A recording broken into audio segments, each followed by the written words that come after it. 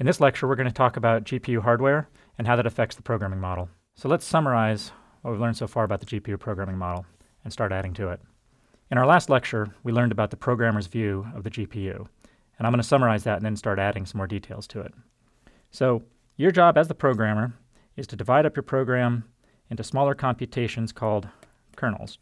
So a kernel, in our case, is a C or C++ function. And the key idea of a kernel is that it's going to be performed by many threads. So a thread is a, a path of execution, a, a, a, thread of execution through the program code.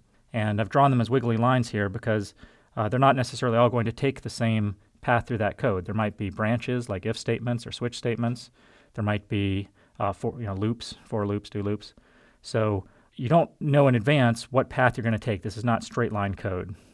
And in fact, different threads might take different paths. So there might be a thread which takes a completely different path.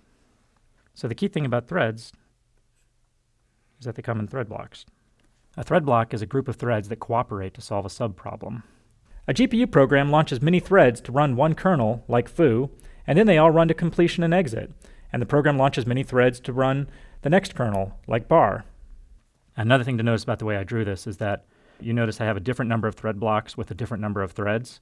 Uh, that's actually something you can pick for each kernel and we'll talk later about how you would, you know, why you would choose different numbers of threads, different number of thread blocks, how you would organize these.